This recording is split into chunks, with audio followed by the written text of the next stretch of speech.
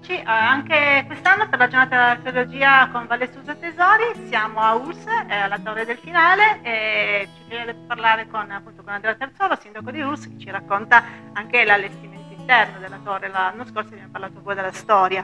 Sì, allora nel, nel, video dell'anno scorso abbiamo raccontato un pochino la peculiarità della torre, la sua storia e gli aspetti esterni. Il bello della giornata archeologica è che può essere anche visitata all'interno. Questo monumento, se vi ricordate, appunto era completamente nelle sue parti interne era completamente collassate, quindi ciò che rimane di autenticamente trecentesco sono tutte le murature esterne, però tutti i solai all'interno e col tempo erano marciti, quindi anche il tetto, la copertura erano collassate.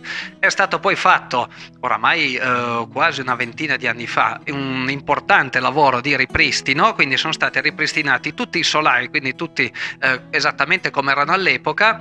La parte più interessante che è nuovamente accessibile è proprio la sala, questa dove ci troviamo adesso, con questa grande cheminée, questo grande camino, che si presuppone, si può immaginare che potesse essere una sala di rappresentanza o di amministrazione della giustizia o di rappresentanza da parte del delegato del delfino o del delfino stesso. Ci si accedeva direttamente direttamente, come vi raccontavo l'altro anno, da fuori, con una scala in legno, un ballatoio, e si entrava quindi direttamente in questa sala qua. Il piano sotto erano essenzialmente dei magazzini, questa appunto la parte del piano nobile e sopra c'erano le stanze e poi ancora più su il cammino, il cammino di ronda sui merli. La bellezza di quest'anno è che finalmente dopo alcuni anni di chiusura la torre riapre con un qualcosa di più al suo interno, quindi non si visita unicamente la struttura, ma all'interno della, della torre che si presta perfettamente nel periodo estivo ad accogliere mostre abbiamo un artista di Ulse che è Daniele Barbier che invito a presentarsi, che ci racconta un attimo come eh, ha pensato innamorato perché l'idea è nata da lui. Lui un giorno appunto mi ha chiamato dicendomi ma e se io esponessi alla torre?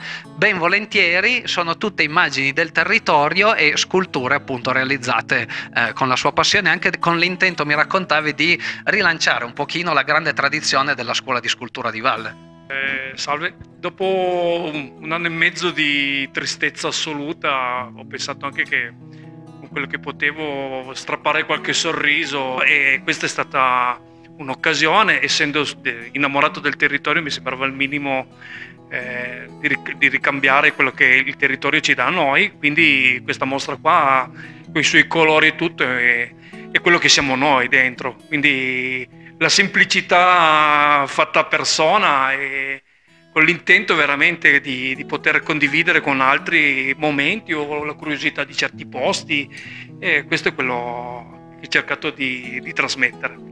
Grazie mille. E il bello è scoprire il territorio e quello che ci ha lasciato la storia è quello che continua a portarci come patrimonio artistico anche attuale.